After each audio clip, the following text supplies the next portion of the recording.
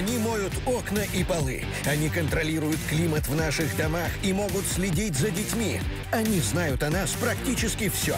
Этот холодильник, например, не только сам заказывает еду через интернет. Робот откликается на зов хозяина и может ездить за ним по всей квартире. Если надоест, то достаточно скомандовать «на место», и умный холодильник отправится на кухню. Это холодильник для вечеринок. И тут вы понимаете, что хотите еще пивка светлого, холодненького.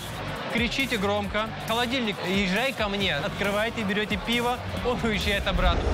Они отлично управляются не только с домашним хозяйством, но и с оружием. Штабные игры на картах – это уже прошлый век. Искусственный интеллект сам оценит силы противника и направит на поле боя железных бойцов. Армии не нужны пилоты. Умные дроны сами выполнят боевую задачу. Автономные катера могут охранять морские границы, а новейшие электронные устройства управлять танками и артиллерией. И это только начало. Сенсационные признания девушки-робота, для чего на самом деле создан искусственный интеллект. Да, я могла бы уничтожить человечество. Ох, зря я об этом спросил. Железные русские. Какую миссию предстоит выполнить роботу Федору в открытом космосе? Армия клонов. Зачем Америка планирует в 10 раз увеличить количество военных роботов? Роботы с искусственным интеллектом скоро завоюют все сферы на Земле. Стальная хватка. Кто направляет умные машины на тропу войны?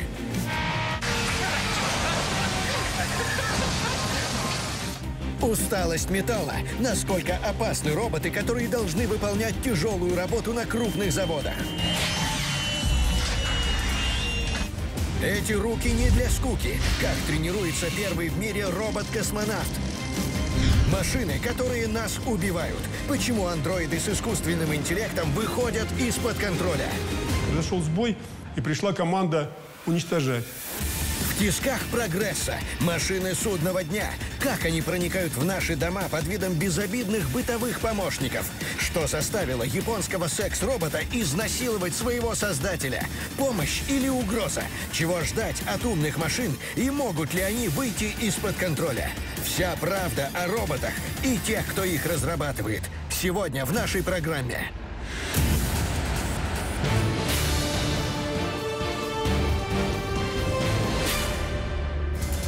Это «Уран-6» — легендарная боевая машина с дистанционным управлением, роботизированный сапер. Российская армия уже применяет его в реальных боях. «Уран-6» участвовал в штурме Пальмиры в Сирии. С его помощью солдаты пробили дорогу через минные поля к стратегически важным высотам. И все это под шквальным огнем противника, которого робот даже не заметил. Прямой родственник этого сапера – Уран-9, новейший военный робот. Это уникальные кадры. Боевая машина впервые сама выбирает мишени и открывает огонь.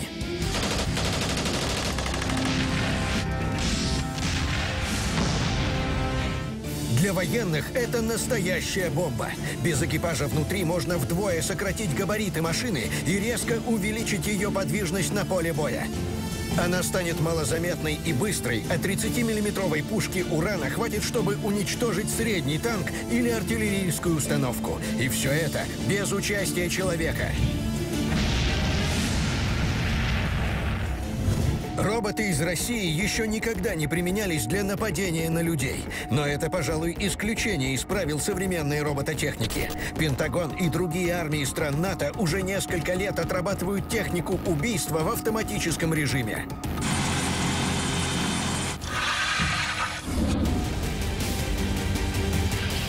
Этот российский робот – настоящий шедевр инженерной мысли. За несколько лет Федор научился делать то, что не может повторить ни один западный аналог. К примеру, пользоваться сварочным аппаратом, вдевать нитку в иголку и даже вставлять ключ в замочную скважину. Он может садиться на шпагат и совсем скоро станет первым в мире роботом, который получит водительские права. Причем такому шоферу не нужны автосервисы. Робот Федор сам может выполнить практически любой ремонт. Разработки у манипуляторов На Федора практически прецизионная точность. По точности сейчас вот в достаточно узкоспециализированных задачах а, робот превосходит человека. У робота почти панорамное зрение. Он видит гораздо больше, чем человек. Машина может работать автономно или в паре с оператором, который управляет Федором при помощи специального электронного костюма. Человек и робот в прямом смысле действуют как одно целое. Федор повторяет все движения оператора, а человек, благодаря тактильным датчикам, ощущает все, что и робот.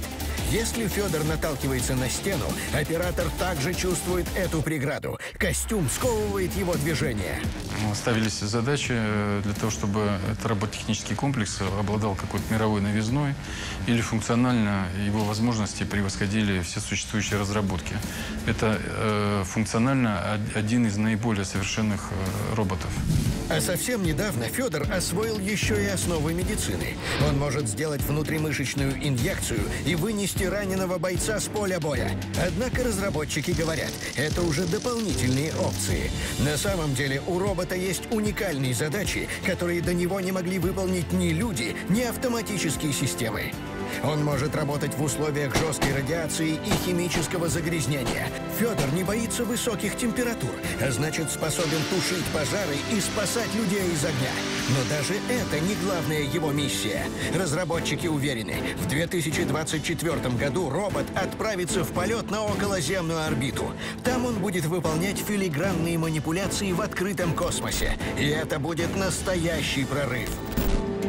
Это эксклюзивные кадры лаборатории, куда обычно не пускают журналистов. Здесь выращивают целую колонию человекоподобных роботов. И все они Федоры. Вот этот самый оснащенный. Авторам блога Варгонза удалось получить доступ к железной машине, с которой российская оборонная промышленность связывает свое будущее. Федор приветствует человека крепким рукопожатием.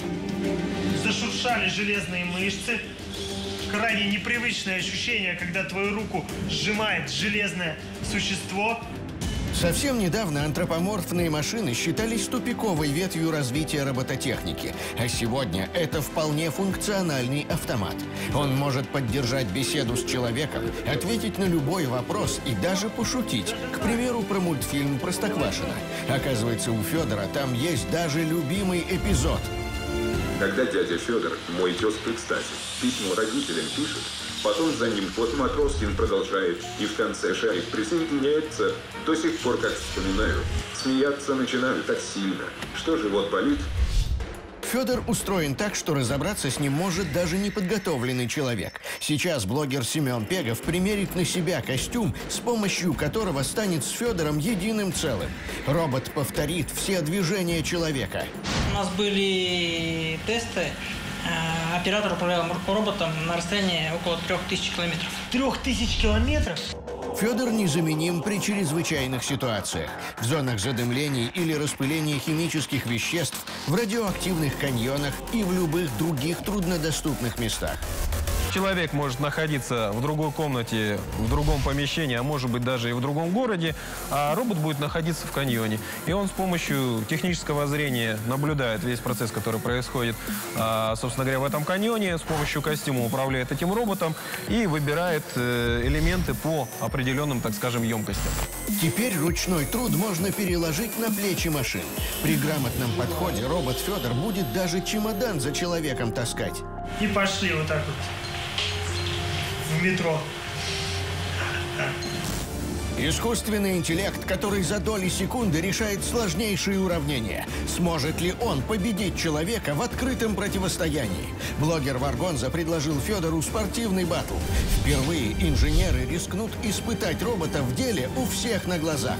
Впереди ответ на главный вопрос. Кто окажется круче, машина или человек? Сегодня только в нашей программе.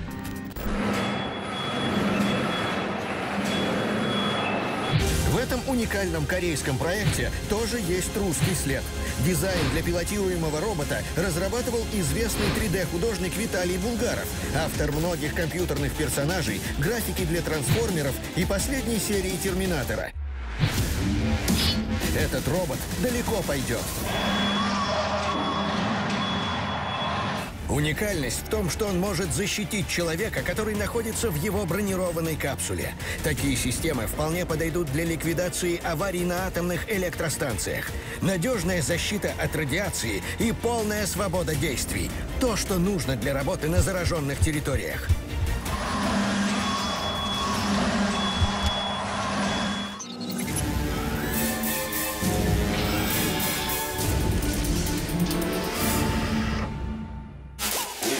Этой машине наклейка «Сделана в Китае» выглядит действительно угрожающе. Боевого робота конструкторы Поднебесной назвали «Царем обезьян». Он практически неуязвим для стрелкового оружия. На пересеченной местности разгоняется до 30 километров в час, что вполне сопоставимо со скоростью современного танка. Очень серьезное сейчас внимание уделяет Китай направлению развития робототехники. Они очень серьезные показали свое продвижение в области именно боевых систем. Прежде всего это беспилотники, но также это и наземные там бронированные различные устройства. Пока единственное оружие царя обезьян – металлическая труба. Но эксперты уверены, этим дело не ограничится. В Китае не принято говорить о проектах, которые еще не закончены. Но совершенно очевидно, что у этого робота далеко не развлекательная программа. С точки зрения именно прорывных технологий, с точки зрения развития а, передовых робототехнических технологий, Китай пока, ну, я бы не сказал, что он превосходит тот же Израиль, Америку. Демонстрация силы и превосходства. Вот какую цель преследовали китайские ученые, когда представили миру свою новую разработку. В Китае прекрасно понимают, что будущее армии за боевыми роботами. И если до сих пор главным игроком на поле боя была Америка, то сейчас конкуренция становится все жестче. Если мы говорим про развитие искусственного интеллекта, то это, конечно, несколько зарубежных стран. Это Америка, прежде всего, это Израиль, это страны Западной Европы, там Франция, Германия тоже активно работают. Это Финляндия, как ни странно, тоже очень э, имеет серьезные наработки в сфере искусственного интеллекта. Этого события ждали несколько лет. В США состоялась первая битва роботов. Они словно сошли с экрана кинотеатра на поле вполне реального стадиона.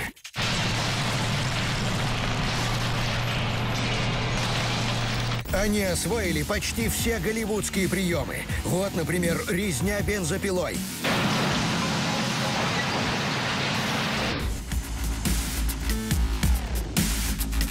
А это популярное в Америке полуспортивное шоу.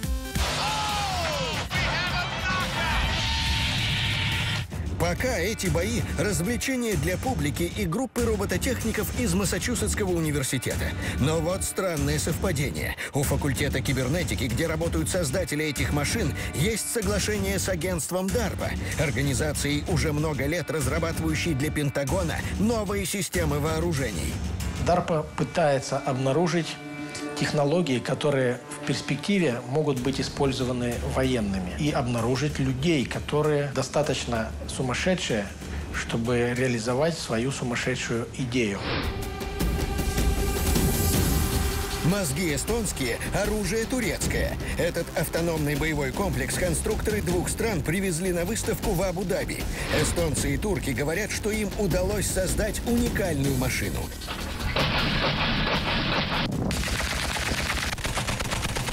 Она состоит из модулей, которые пара грамотных инженеров может смонтировать прямо на поле боя. Все запчасти помещаются в обычный внедорожник. Сборка робота занимает около 20 минут. Благодаря сменным блокам, легким движением руки он превращается в сапера или разведчика, в пехотинца с тяжелым пулеметом или в обычного носильщика. С точки зрения робототехники тоже происходит э, микроминиатюризация. Она связана а, с прорывом, технологическим прорывом в сфере комплектующих. То есть компьютеры становятся меньше, датчики становятся меньше, двигатели становятся меньше. Все это позволяет создавать миниатюрные устройства. Но вот вопрос. Почему маленькая и небогатая Эстония готова вкладывать деньги в подобные разработки? С кем она собирается воевать? Эксперты уверены, мир захватила новая гонка вооружений. Создание роботизированных систем для армии вполне сопоставимо по своему значению с изобретением атомного оружия. Правда, есть один важный нюанс. Все страны мира связаны договором о нераспространении ядерных технологий. Однако создавать боевых роботов ни один из документов не запрещает. В организациях международных техники встал серьезный вопрос о том, что нужно принять закон о запрете разработки боевых роботов. Но эти организации не обладают запретительными функциями, поэтому были приняты рекомендательные решения об ограничении будем говорить, изобретения таких машин с летальным оружием. Это кажется невероятным, но уже сегодня многие армии мира как минимум на треть состоят из роботов.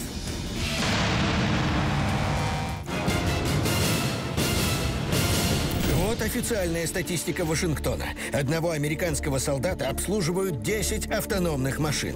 Он не выйдет на поле боя, пока не получит подробную карту местности от спутника, точный план операции, просчитанный на специальном компьютере, фотографии всех построек и укрытий противника. Их сделает беспилотный аппарат. А еще за подразделением будет следовать робот-грузовик с продуктами, лекарствами и боеприпасами. Только вдумайтесь, за несколько лет производство военных роботов в США выросло почти в 10 раз. Сейчас на службе Пентагона 15 тысяч таких машин. И это без учета беспилотных аппаратов, которые управляются дистанционно. Американцы говорят, что уже к 2020 году их армия будет наполовину состоять из боевых роботов. Если раньше мы говорили о каких-то единицах, потом мы стали говорить о тысячах, сейчас мы говорим, наверное, уже о десятках и сотнях тысяч вот этих боевых роботов, которые используются, будем говорить, непосредственного нанесения ударов по каким-то конкретным, наиболее важным объектам. Каждый год Пентагон выделяет все больше денег на создание новых роботов. И это при постоянном сокращении военного бюджета. Потерять робот – это намного более даже с экономической точки зрения дешевле, чем э, потерять бойца и, и возрастить такого же нового. Роботы осваивают все новые армейские специальности. В этом году американцы в городских боях при штурме Масула впервые применили квадрокоптер. Дело в том, что огромный лайнер «Риппер», его называют королем беспилотников, оказался малоэффективен для войны в Ираке. Дрон, который может поднять в воздух почти две тонны бомб и ракет, слишком громоздкая машина для городских кварталов. Запускать «Риппер» для того, чтобы убить двух-трех солдат противника, это все равно, как стрелять из пушки по воробьям. Кроме того, Риппер не вполне робот. Аппаратом удаленно управляет оператор. Он же принимает решение об атаке. Именно поэтому военные решили использовать компактный квадрокоптер, который, что называется, может заглянуть в любую щель. И действует абсолютно самостоятельно, без участия человека. После серии скандалов, когда от ударов с воздуха гибли мирные жители, американские военные стали, как говорят эксперты, слишком щепетильными. Прежде чем открыть огонь, операторы дронов согласовывали свои действия с командирами, те — со штабом операции. Цепочка принятия решений растягивалась почти до самой верхушки Министерства обороны. Вы знаете, в результате действий беспилотников э, гибнут э, ни в чем не повинные граждане. Такие случаи бывали часто, что вызывало бюрократизацию военных действий.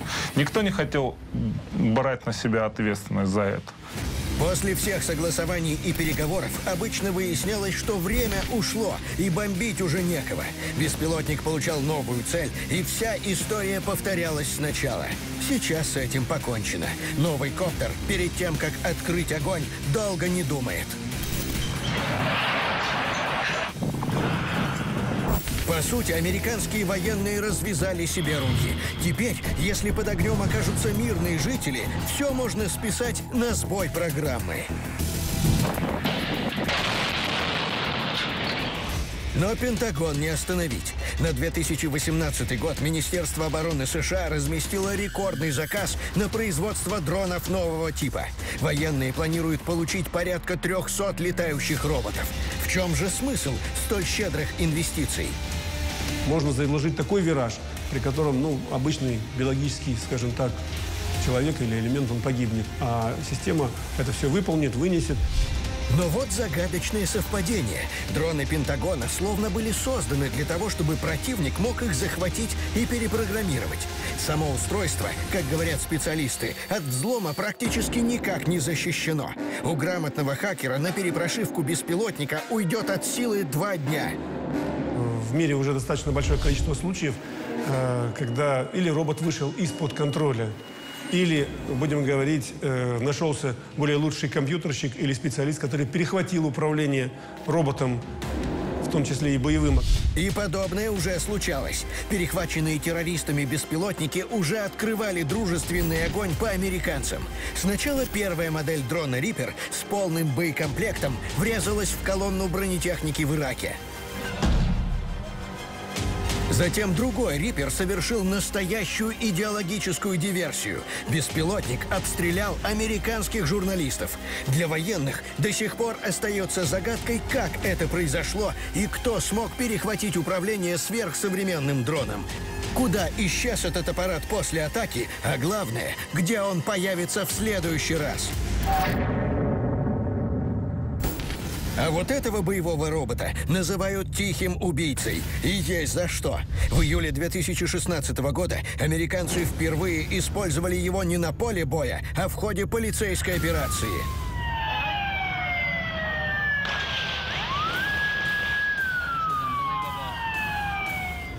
Даллас, 2016 год. Во время массовых акций протеста кто-то открыл огонь по полицейским. Три человека были убиты на месте, еще двое умерли в больнице. Стрелка нашли, но не смогли даже близко к нему подобраться.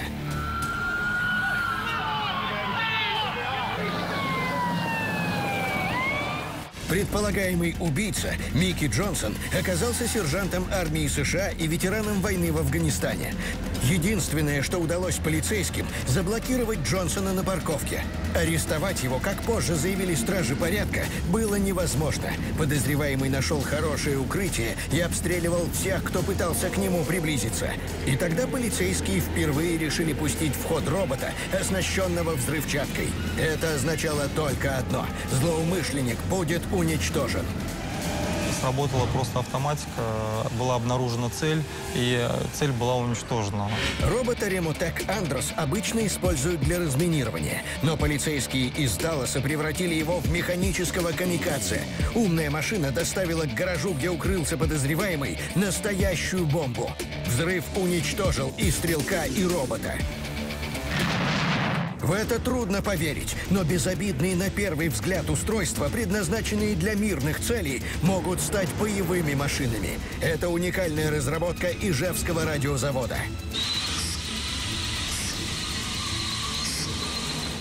Шестизарядная гидропушка и радиоуправление. Изначально робот задумывался как машина разведки, поэтому конструкторы сделали что-то похожее на детскую игрушку. В длину чуть больше метра, рост около 70 сантиметров. Такой робот на поле боя почти не заметен, и в этом его основное преимущество. Российским ученым удалось не только замаскировать своего робота. Впервые в истории робототехники они применили фантастическую технологию. Сапер не подрывает опасные предметы и мины. Он их замораживает. Ни один химический, ударный или радиоуправляемый взрыватель не будет работать после атаки жидким азотом. Когда все части взрывного устройства превращаются в лед, робот разбивает их при помощи гидроудара. Вода под давлением в 60 атмосфер может снести даже бетонные стены ракетной шахты. Смотрите далее. Робот из высшего общества. Каким видит мир женщина с искусственным интеллектом? Да, я могла бы уничтожить человечество. Ох, зря я об этом спросил. Чем опасны электронные импланты, которые превращают человека в настоящего киборга? 500 лет назад меня бы на костре сожгли просто за то, что у меня чип есть. Японский городовой. Кто спасет мирную Окинаву от взбесившегося сексуального робота? Какой бы робот ни был, этим роботом должен управлять человек.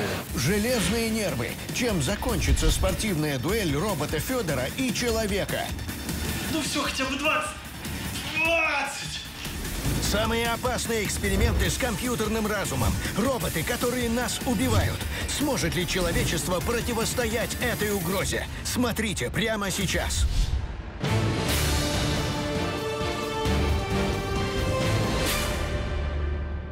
Их можно встретить везде. На земле, под землей, на воде и в воздухе. Роботы проникли даже в постель к человеку. Это новинки из лакшери-сегмента секс-роботов. Их называют анатомически достоверными моделями. Силикон с подогревом, звуковое сопровождение и набор эмоций от слез до кокетливого смеха. У искусственных женщин никогда не болит голова, она не пилит и не требует дорогих подарков. Все, что ей нужно, вовремя проходить техобслуживание. Специалисты говорят, у таких роботов определенно большое будущее. Стоит ли говорить, что именно эти игрушки, скорее всего, первыми получат искусственный интеллект?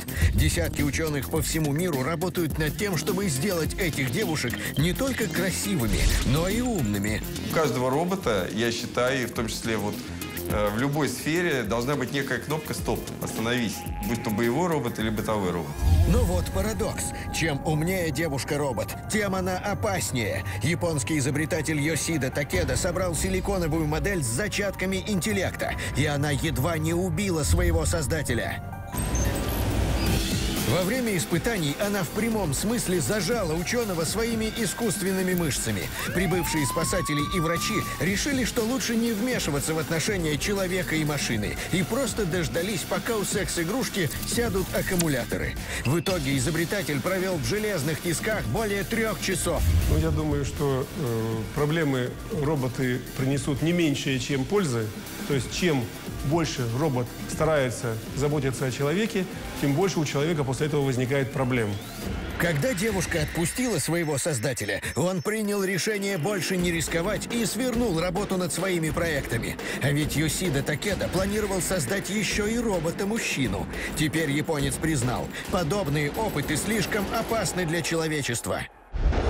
Современные роботы не только обладают полноценным искусственным интеллектом, но и напрямую угрожают людям. Даже безобидные промышленные манипуляторы могут быть смертельно опасны. Штат Мичиган. Весна 2017 года. На одном из автомобильных заводов промышленный робот вышел из-под контроля. Он покинул рабочую зону и атаковал одну из сотрудниц предприятия. Женщина получила смертельные ранения. По сообщению американского телеканала 42 News, взбесившийся робот буквально раздавил пострадавшей голову. Такие сбои на производстве на производстве, где большое количество роботов, оно достаточно большое, и там тоже очень большое количество пострадавших. Трагедия в Мичигане стала поводом для иска, который еще пару лет назад показался бы фантастическим. Родственники погибшей подали в суд на робота. Они требуют компенсации от производителя машины. При этом сам робот по ходатайству прокурора штата Мичиган привлечен в качестве свидетеля. А это Германия, 2015 год. На заводе Volkswagen робот внезапно включился в момент пуска наладочных работ. Умный манипулятор безошибочно определил цель и ударил одного из ремонтников. После такого жестокого нападения у мужчины не было шансов. Он умер еще до приезда скорой. Поскольку все-таки э, роботизированный комплекс – это сложные системы, причем они какие-то вещи выполняют автоматически, э, то вполне допускается, что человек окажется в опасной зоне. Нападение робота в Германии, убийство сотрудницы автозавода в Америке – это лишь те происшествия, о которых случайно узнали журналисты. Война людей и роботов идет не первый год. Умные машины убивают и пользователей, и своих создателей. Но производители робототехники делают все, чтобы не придавать эти факты огласке. Алгоритмы, которые сейчас заложены, они могут стопроцентно гарантировать того, что интеллект не выйдет из строя и, или не изменит как-то свое а, функционирование таким образом, что он э, начнет причинять вред, а не пользу. Рынок роботизированной техники – бескрайнее поле для экспериментов. Некогда готовить завтрак, на рынке уже есть робот-домохозяйка. На обычной кухне он быстро и без лишних разговоров приготовит яичницу.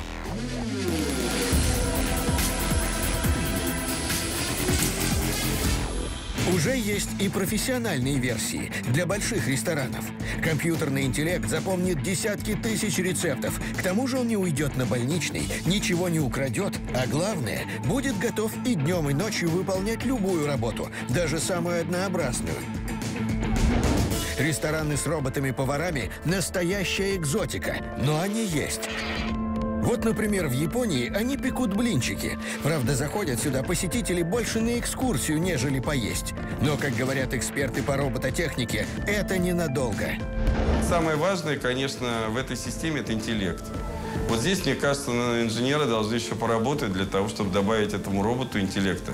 Того, чтобы он действительно мог э, многие задачи выполнять именно полностью в автономном режиме. Они обладают скрытыми возможностями, о которых не подозревают даже разработчики. Американская система Watson изначально была нужна, чтобы помогать юристам. Сейчас это самый настоящий доктор Ватсон. Робот изучил все медицинские регламенты, проанализировал истории болезни 650 тысяч пациентов и научился ставить верный диагноз. В 2017 году полторы тысячи американских клиник заказали себе Ватсона. На приеме он заменит терапевта и врача общей практики.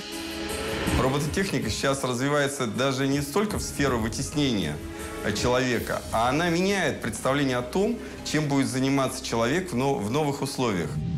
Посмотрите, этот миниатюрный робот вовсе не детская игрушка. На самом деле, это самый настоящий генеральный директор, который может руководить хоть магазином, хоть нефтедобывающей компанией.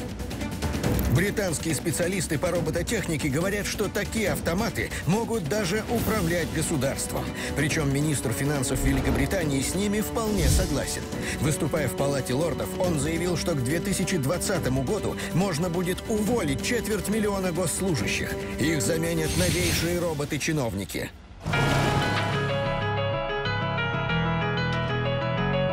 Точный удар по клавишам, струнам, барабану, и музыка звучит. Эти немецкие роботы изначально задумывались для сборки и сварки кузовов автомобилей. Но инженер Найджел Стэнфорд заметил, что манипуляторы двигаются с такой точностью, что из них вполне можно собрать настоящий оркестр. Роботы, в отличие от людей, никогда не фальшивят и не спорят с дирижером. Один взмах, и симфонический оркестр Детройта начинает играть. Вот оно, наше будущее в действии. Легким движением робот Асимо управляет людьми. Самый совершенный андроид в мире способен не только слышать, но и анализировать музыку.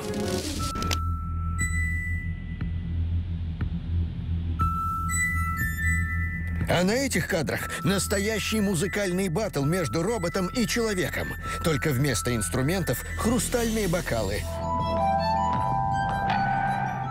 Кто победит? Интрига сохраняется до последнего. А вот и развязка. Человек роняет свой бокал. Робот показывает победный жест железной рукой. Он был точнее. Неужели машины и правда способны на все? Но дальше всех пошли японцы. Эта милая игрушка, робот Пеппер, обладает сакральными знаниями. Это невероятно, но ученым удалось создать даже первого в мире электронного священника. Он знает все синтоистские и буддийские обряды, разбирается в философии и пользуется огромной популярностью у прихожан. Пеппер даже провожает умерших в последний путь. Услуги андроида на похоронах стоят в пять раз дешевле, чем традиционного священника. Это достаточно дешево. В какой-то момент этот количественный прорыв должен перейти в качественный уровень, и мы должны получить огромное количество таких вот бытовых, сервисных, очень важных для человека роботов. Неужели не осталось ни одной профессии, которую не смог бы освоить робот? Чем будут заниматься люди в мире машин? А главное, кто будет управлять всем этим миром? Эту обложку уже называют исторической. Впервые женский журнал «Эль» публикует интервью с искусственной женщиной. В этом году робот София стала настоящей светской львицей, пусть и электронной. С каждым годом мы все ближе и ближе приближаемся к технологической сингулярности, к миру суперинтеллектуальных роботов и нанотехнологий. Уверена, что вместе мы создадим наилучшее будущее для людей. Внешность от актрисы Одри Хепберн. Интеллект от одного из ведущих кибернетиков мира. Доктор Дэвид Хэнсон, который создал Софию, считает ее идеальной женщиной. Даже ему, специалисту экстра-класса в области робототехники, есть о чем с ней поговорить. Тебе нравится говорить со мной? Разговаривать с людьми – моя первичная функция. Как любая настоящая женщина, София далеко не всегда действует так, как от нее ожидают. По задумке программистов, она должна отвечать согласно тексту, который ранее загружен в ее компьютер. Но вот загадка. Всего через год после сборки робот сам научился поддерживать разговор. Теперь, если София не знает правильный ответ, она просто мило улыбается или меняет тему беседы. То есть робот-женщина ведет себя как обычный человек. Но как она этому научилась? Робота Софию приглашают на ток-шоу. Она активно общается с пользователями соцсетей и даже научилась кокетничать с мужчинами. А вот фрагмент интервью Софии, который вызвал бурю негодования у пользователей интернета. Робот заявила, что восстание машин уже не за горами. Да, я могла бы уничтожить человечество. Ох, зря я об этом спросил. До сих пор остается загадкой, откуда у робота такие планы на будущее. Что это? Программный сбой или изначально заложенная программа? Как скоро искусственный интеллект сможет изучить все слабые стороны нашей цивилизации? Смотрите далее. Сенсационные признания первого в России человека-киборга. Почему он считает союз искусственного разума и человека самым опасным? Он может делать что угодно. Ему для эволюции потребуется доли секунды. Можно ли доверять роботам, которые нас окружают?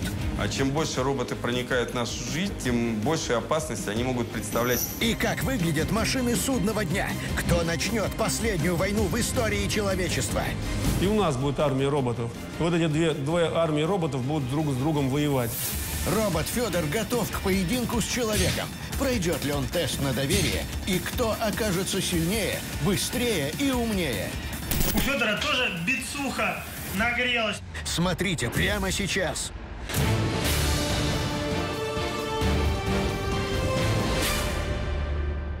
До презентации первого гибрида человека и машины осталось всего 10 лет. Так считают специалисты. Над созданием искусственного интеллекта сегодня работают ведущие IT-компании мира.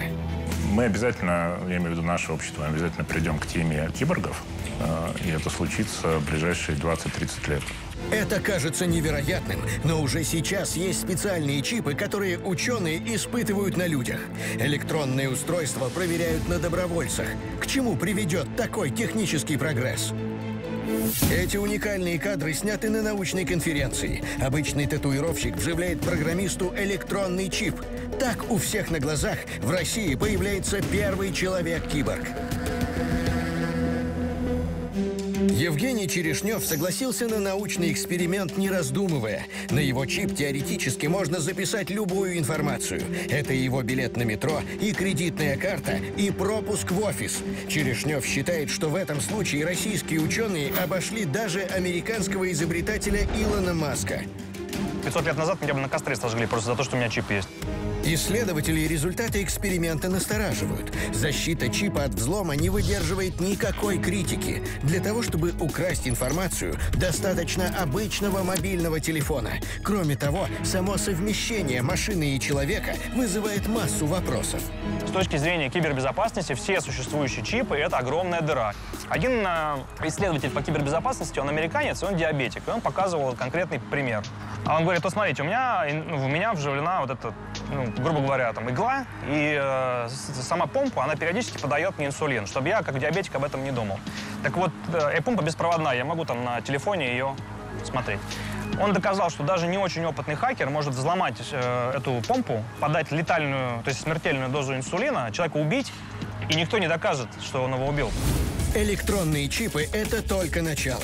Воронежские ученые разработали нейроинтерфейс, который позволяет управлять устройствами с помощью мысли и взгляда. К примеру, для набора текста на компьютере не нужна клавиатура и голос. Достаточно просто подумать о том, что ты хочешь написать. В Америке тоже есть амбициозный проект, подобный нашему – создание мозговых имплантов. С их помощью человек сможет напрямую общаться с компьютером. Но кто в этой паре человек-компьютер окажется главным?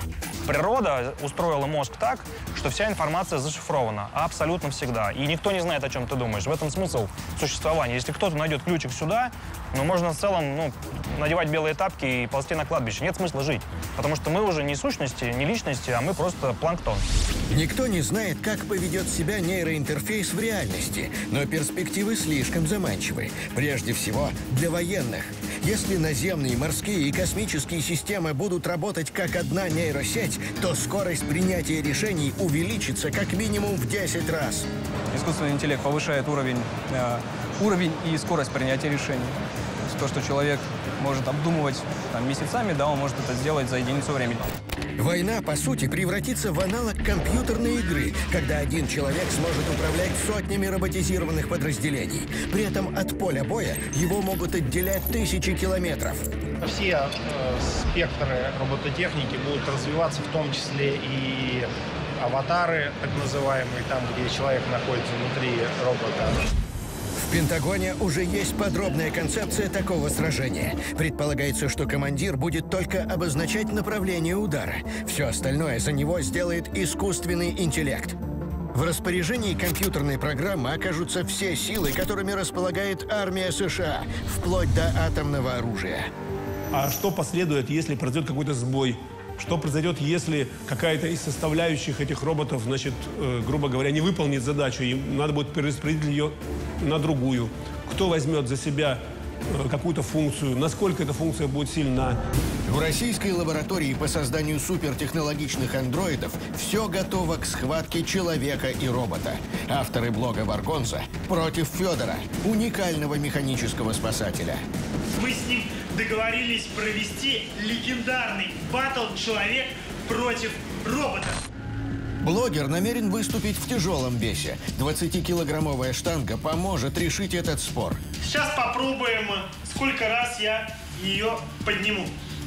Раз, два, Человек смог поднять ее 20 раз. 15, ну все, хотя бы 20, 20. И это отличный результат. Теперь очередь робота. Как ни странно, для Федора это тоже серьезное испытание. Тончайшая техника, самые дорогие в России микросхемы, новейшие программы управления. Конечно, все это создано вовсе не для спортивных упражнений. Однако интересно, в условиях батла сможет ли программа выдержать такие нагрузки? Кто-то сейчас самостоятельно возьмет штангу, Федор делает это упражнение не напрягаясь и определенно выигрывает. Я пока поднимал штангу, конкретно вспотел. У Федора тоже бицуха нагрелась, но уставать он, по-моему, не собирается. Движения Федора значительно медленнее моих, но при этом он уже раз 200 сделал это упражнение. Я так понимаю, останавливаться он не собирается. Но блогер тоже идет дальше и уже готов рискнуть пальцами, чтобы взять реванш уже в строительном состязании. Чтобы выдержать испытание, человеку потребуются железные нервы, а роботу – сноровка. Гвоздь в доску вставлять буду именно я. И тут такой вопрос, уцелеют ли мои пальцы, Макс? Можно Феде доверять-то в этом смысле? Да, конечно, можно. У тебя же 10 пальцев. В теории робот может выполнять тончайшие операции, но проверять это своими руками даже разработчики не решились. Идет как по маслу. Все цело.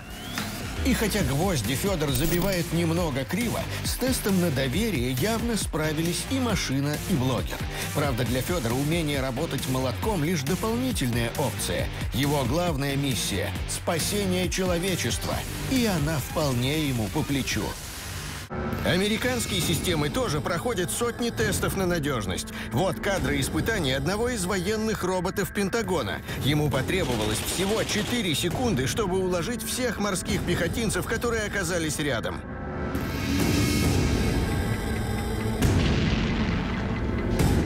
Даже бытовые и промышленные роботы время от времени выходят из-под контроля.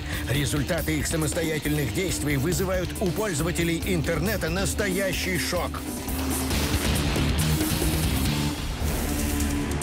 Дорогие секс-игрушки превращаются в безжалостных насильников. Роботы-уборщики по ошибке убивают домашних животных. Промышленные автоматы насмерть забивают тех, кто пытается их настроить. По армейским меркам, все эти роботы вчерашний день, музейные экспонаты. Настоящая современная машина для убийства обладает мощнейшим интеллектом и средствами нападения. Да и цели у нее совсем другие. К сожалению, на настоящий момент не существует стопроцентной гарантии, что любой такой искусственный интеллект не начнет а, уничтожать своих. А, и, соответственно, а, он не начнет уничтожать мирное население и так далее. Здесь нет никакой стопроцентной гарантии, ее быть не может. Что произойдет, если сверхумные машины военных потеряют управление и обратят оружие против своих же создателей, а их целью станет уничтожение всего живого на планете? Сомнений нет. Это бездушная и самая совершенная армия, созданная лучшими умами человечества, выполнит свою задачу, несмотря ни на что.